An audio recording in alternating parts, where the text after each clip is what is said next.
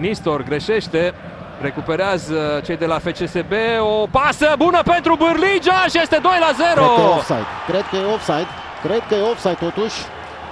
Dacă nu, Bârligea chiar uh, este coșmarul Universității Cluj. Mie mi s-a părut că e în afara jocului. Bârligea, e posibil să mă înșel. După ce am scris în uh, fața peluzei uh, clujenilor, scrie și în fața peluzei uh, roșii-albastre, dar aș vrea să revăd fața. E posibil să mă înșel. Și totul pleacă de la greșeala lui uite, Nistor. Uite, uite, uite. Nu e. Nu e, nu e, nu e, nu e, nu e offside. Nu e offside. Și iată cum uh, doi jucători cu experiență, Ovidiu Popescu la primul gol și Nistor la golul 2, greșesc, fac uh, pase cadou uh, celor de la FCSB.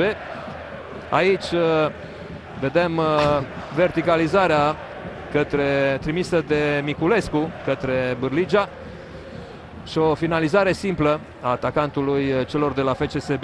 Încă se verifică la VAR. Pe mine m-a amuzat cel mai mult că a ridicat mâna Masuero, exact cel care îl scotea din offside și era și cu fața. Da, Bârligea a stat foarte bine pentru că a alergat cât a putut paralel cu poarta adversă. Deci golul se va pune, este 2 la 0 pentru FCSB. Dacă nu, cumva ne înșală pe noi unghiul, dar nu cred. Nu cred, este gol, iată. Spune și Marcel Bârsan, FCSB cu avantaj de două goluri pe terenul liderului. Blănuță rea jocul de la centrul terenului, trimite la Nistor, Simion și acum Masuero.